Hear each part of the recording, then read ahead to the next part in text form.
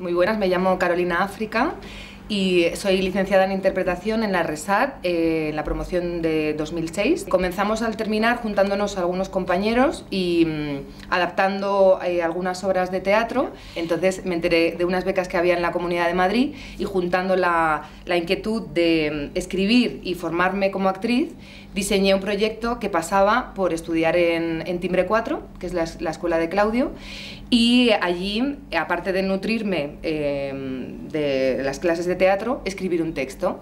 Me concedieron esta beca y viajé en 2011, fueron como 6-7 meses eh, maravillosos. Y allí pues estuve, además de en la escuela de Claudio Tolcachir, también aprendí a bailar tango, eh, hacía todos los seminarios que podía, vi muchísimo teatro.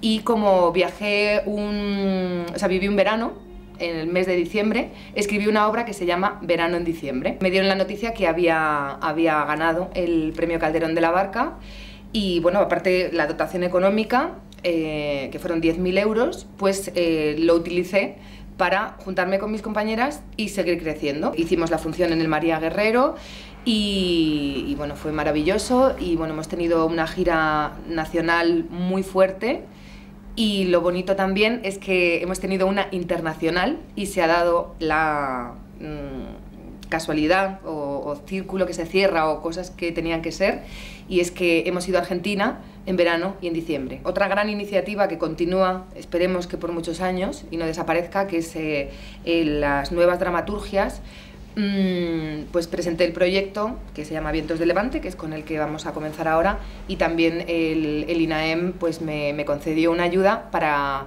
escribir el texto.